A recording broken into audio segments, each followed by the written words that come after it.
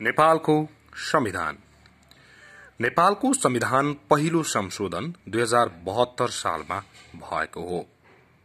त्यस्तै गरी प्रस्तावनामा के लेखिएको छ त भन्ने विषयमा आज हामी पढेर सुनाउन गइरहेका छौं।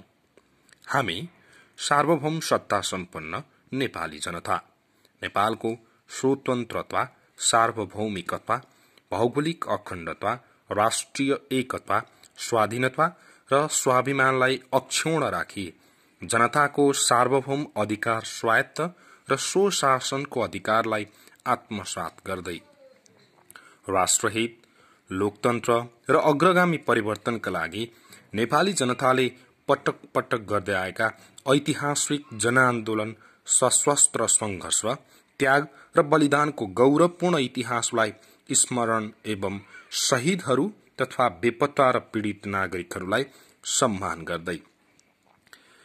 सामन्ती निरङ्कुश केन्द्रकृत र एकात्मक राज्य व्यवस्थाले सृजना गरेका सबै प्रकारका विभेद र उत्पीडनको अन्त्य गर्दै।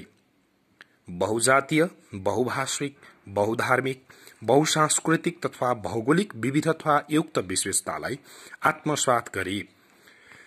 विविधता बीचको एकता सामाजिक सांस्कृतिक ऐक्यबद्धता सहिष्णुता र सद्भावलाई संरक्षण एवं प्रवर्धन गर्दै वर्गीय जातीय क्षेत्रीय भाषिक धार्मिक लैंगिक विभेद र सबै प्रकारका जातीय छुवाछुतको अन्त्य गरी आर्थिक समानता समृद्धि र सामाजिक न्याय सुनिश्चित गर्न समानुपातिक समावेशी र सहभागितामूलक सिद्धान्तका आधारमा समतामूलक समाजको निर्माण गर्ने संकल्प गर्दै जनताको प्रतिस्पर्धात्मक बहुदलीय लोकतान्त्रिक शासन प्रणाली नागरिक स्वतन्त्रता मौलिक अधिकार मानवाधिकार बालिक मतवाधिकार आवधिक निर्वाचन पूर्ण प्रेस स्वतन्त्रता तथा स्वतन्त्र निष्पक्ष र सक्षम न्यायपालिका र कानूनी राज्यको अवधारणा लगायतका लोकतान्त्रिक मूल्य र मान्यतामा आधारित समाजवादप्रति प्रतिबद्ध रही समृद्ध राष्ट्र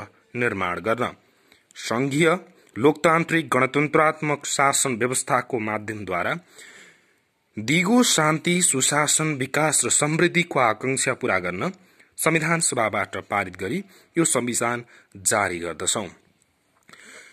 आदरणीय लोकसेवा तयारी गरेर बसिरहनुभएका समस्त साथीभाइहरू यस च्याप्टरबाट विशेष गरी अन्तर्वार्ताका क्रममा एकवटा प्रश्न अत्यन्तै महत्व एकदमै डह्रो खालको प्रश्न सोध्ने गरेको हामीले पाउने गरेका छौं।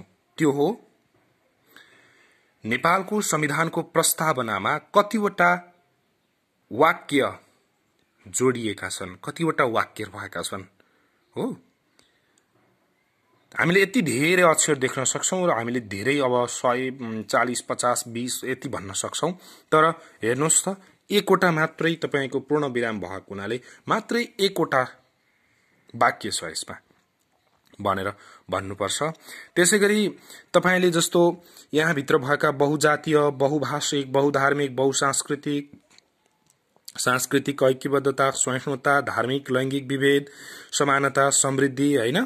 बहुदलीय लोकतान्त्रिक शासन प्रणाली नागरिक स्वतन्त्रता मौलिक अधिकार मानव अधिकार बालिग मतवाधिकार अनि त्यसै गरी तपाईँका यहाँ सशस्त्र सङ्घर्ष त्याग र बलिदान सामन्ती निरङ्कुश केन्द्रकृत र एकात्मक राज्य व्यवस्था नेपालको स्वतन्त्रता सार्वभौमिकता भौगोलिक अखण्डता यस्ता शब्दहरूलाई कमसेकम हामीले चार पाँचचोटि पढिरह्यौँ। यही भिडियो पनि तपाईँले हेडफोन लगाएर अब यो हेरिरहनु आवश्यक छैन सुन्नुभयो भने यी शब्दहरूलाई तपाईँले खेलाउन जान्नुभयो भने भन्न जान्नुभयो भने लोकसेवा पढेर बस्नुभयो साथीहरूले अन्य लेख लेख्ने बेलामा पनि यस्ता शब्दहरू घुसाउँदाखेरि चाहिँ त्यो लेख अलि सुसंस्कृत अलि परिष्कृत हुनसक्छ।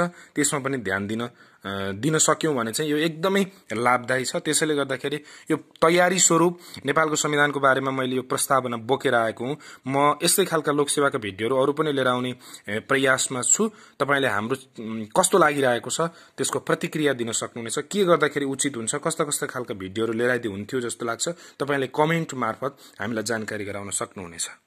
धन्यवाद।